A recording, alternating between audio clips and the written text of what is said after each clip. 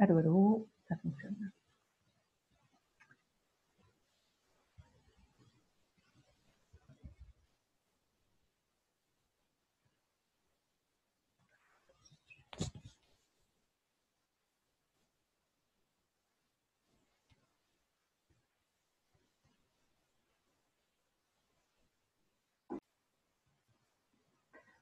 Bonjour, donc une vidéo pour vous montrer comment est la plateforme Zoom, non pas la plateforme Zoom, la plateforme System.io pour mettre vos formations, donc je vais vous la montrer de l'intérieur. Donc je dis Zoom parce qu'en fait j'enregistre la, vidéo par Zoom. Alors on y va, je vais vous partager l'écran. Euh,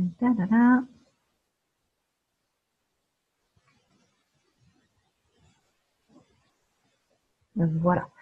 Donc là, vous voyez le, tableau de bord. Donc euh, voilà, système là en haut à gauche. À droite, vous avez tableau de bord. Donc quand vous avez un compte de créer, vous pouvez cliquer à cet endroit pour accéder à toutes les fonctionnalités.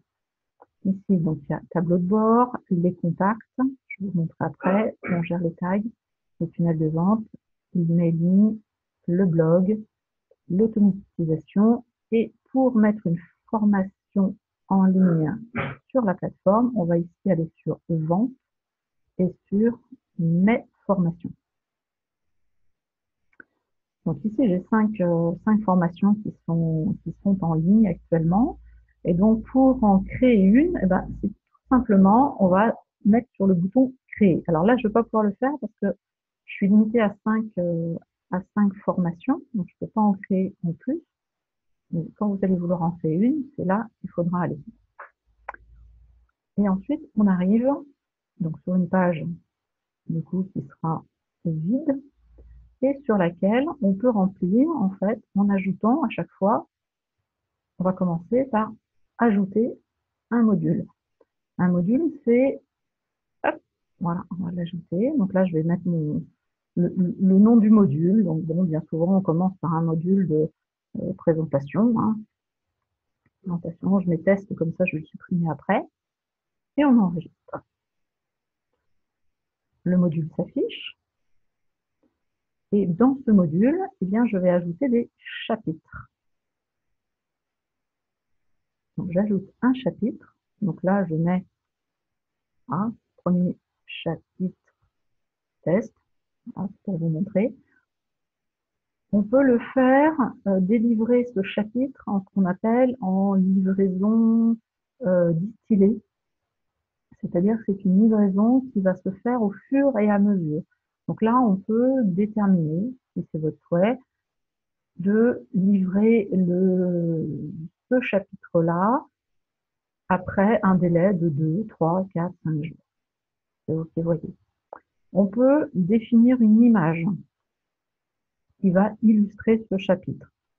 Personnellement, ce n'est pas une fonctionnalité que j'utilise, mais vous pouvez le faire, glisser une image qui illustre votre chapitre. Et ensuite, vous allez pouvoir choisir le type de page. Moi, par, euh, par simplicité, je choisis toujours la page texte, puisqu'on peut rajouter après des vidéos. Je laisse texte et je mets sauvegarder. Voilà, j'arrive là sur mon premier. Alors voilà, ça, c'est mis d'office. Donc là, vous allez pouvoir euh, modifier en fait. Je sélectionne mon texte, je le supprime, je mets, euh, voilà, ceci est un test pour expliquer le fonctionnement des formations. Je peux mettre ce texte en gras. Je peux mettre un morceau en italique. Je peux mettre un morceau en, je ne sais plus ce que c'est, celui-ci. Oui. Je sais pas si ça fait quelque chose, non. Euh, et je peux aussi mettre euh, un lien, hypertexte. C'est-à-dire, si je veux mettre un lien, par exemple, vers un PDF, vers une vidéo, vers euh, ce que vous voulez, vous pouvez mettre un hypertexte un hyperlien pour préciser. Ensuite, là, euh, je peux choisir, alors soit j'efface le texte, parce que j'en ai pas besoin. fois, je peux effacer complètement ce petit module. Voilà.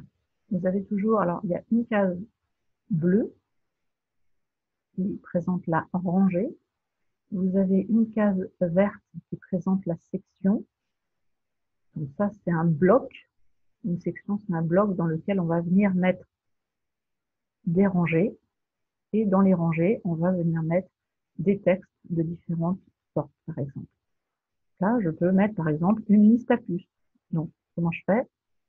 Cliquer, on maintient, et on la promène, et on la ramène là. Et là, hop, voilà, j'ai ma liste à puces qui s'affiche. Et puis là, je peux mettre bla, bla, bla, bla, bla, bla, et je mets ce que je veux et j'allonge ma liste.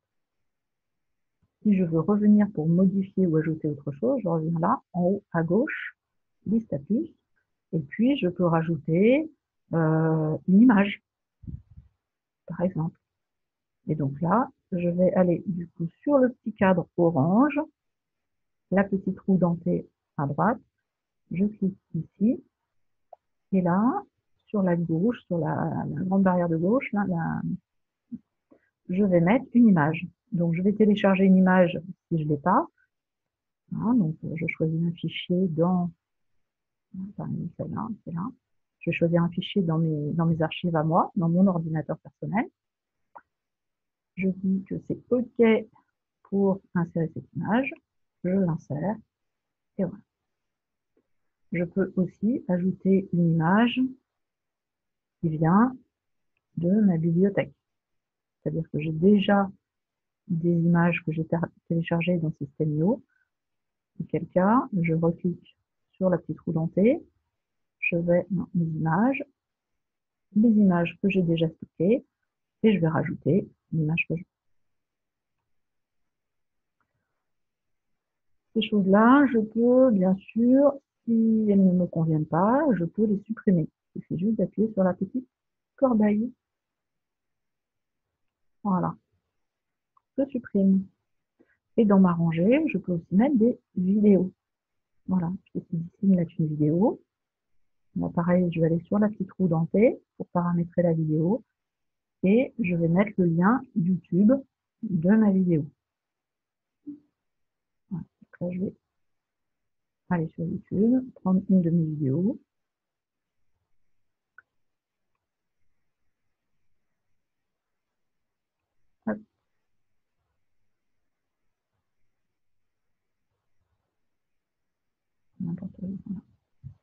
N'importe n'importe quoi, je prends voilà Là, j'ai pas, j'ai pas mes vidéos, mais c'est pas grave. Euh, je peux aller chercher.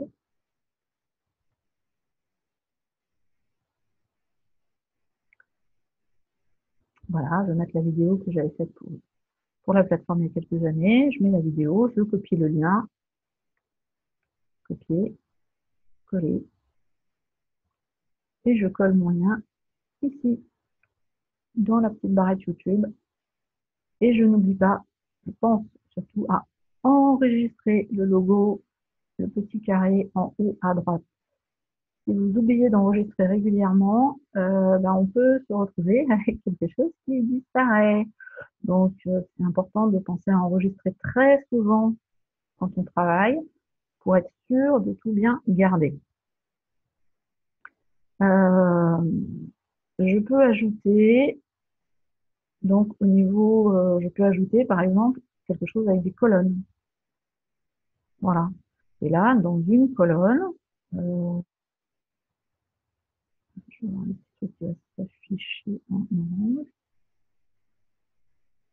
dans une rangée, je peux mettre, par exemple, un texte. Voilà. Là, je peux mettre une photo. Et là, je peux mettre une vidéo. Je fais ce que je veux. Donc, c'est vraiment super souple. Euh, vous pouvez ajouter euh, des commentaires, des contenus, bref, tout ce qui vous plaît de mettre dans votre, dans votre chapitre de formation. Surtout, on pense à enregistrer et on pense à regarder avec le petit œil prévisualiser. Alors là, je prévisualise, on va en bas à gauche, tout en bas, on prévisualise sur ordinateur. ou on prévisualise aussi sur smartphone. Là, je clique sur le smartphone et là, j'ai le visu que mon client verra s'il regarde la vidéo, enfin s'il regarde euh, la formation à partir d'un smartphone. Ça peut être intéressant pour se dire, ah d'accord, ok, en fait, ce qui se passe, c'est que la vidéo arrive avant les photos. Euh, est-ce que c'est ce que je souhaite? Est-ce que j'ai besoin d'inverser Ça permet d'organiser comme on veut. Et on peut visualiser comme ça. Donc ça, c'est ce que verra le client directement. Et sur le côté, donc ça c'est des choses qu'on paramètre, je vais vous expliquer dans une autre vidéo. Et là, il aura tout le détail, sur la gauche, il aura tout le détail des formations, euh, enfin des chapitres, et des, enfin des modules.